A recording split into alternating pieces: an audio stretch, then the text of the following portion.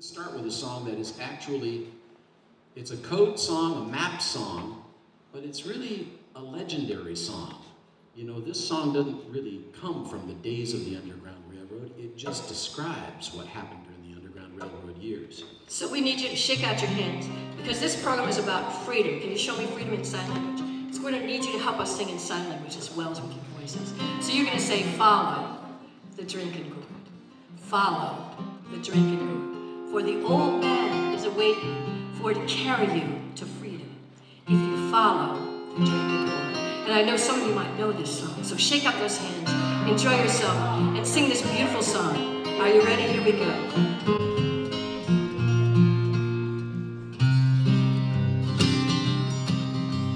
Follow the drinking gourd.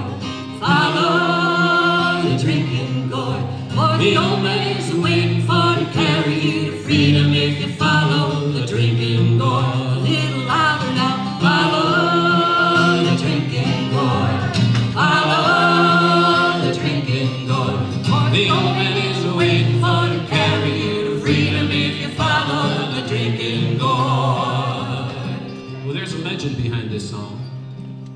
It's a story about a man named Pegleg Joe. Pegleg Joe was a sailor. When he was a young man, he worked on the slave ships. So the story goes. A terrible accident, and he lost a leg. In those days, they didn't have a nice prosthetic leg and foot. They put they just they, they just strap on a peg. You walk around on a peg leg. That's why they call him Peg Leg Joe. Peg Leg Joe saw slavery up close and personal. He hated slavery, and he decided he was going to do everything that he could to stop it. One or two or three or four people at a time, whatever it took. So he got a job as a carpenter. He traveled around the southern states. And he would sing this song, so they say. When the sun comes up and the first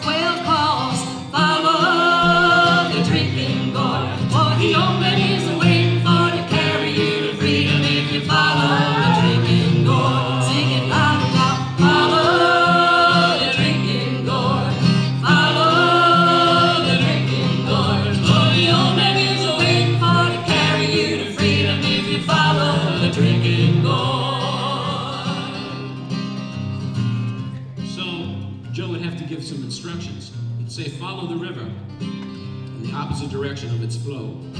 Eventually, it'll take you up into Tennessee. And you have to follow that river bank. It's going to be a good road to follow. If the clouds are in the sky and you can't see the drinking gourd, which is, of course, the Big Dipper or the Little Dipper, then you look for moss growing on the north side of a dead tree. That'll show you the way. And if you can't find any trees, look for my trail, which will be left foot and a peg foot. Well, the river bank will make a mighty good road. Dead trees will show you the way.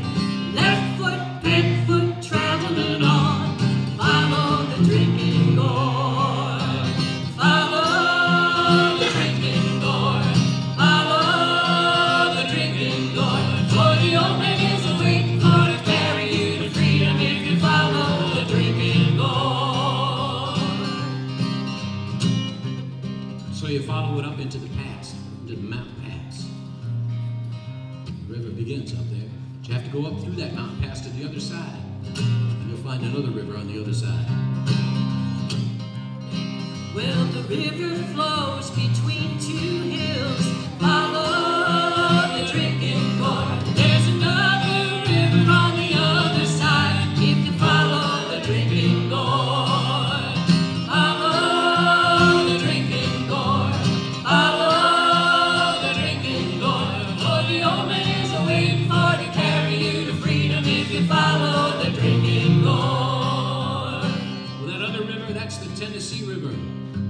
River flows north into the Ohio River.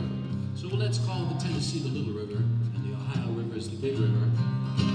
When you get there, you'll find there's somebody waiting there. It's an old man with a beard. That's Peg Leg Joe. And he's got his boat. He's ready to ferry you across the river into the free state of Illinois.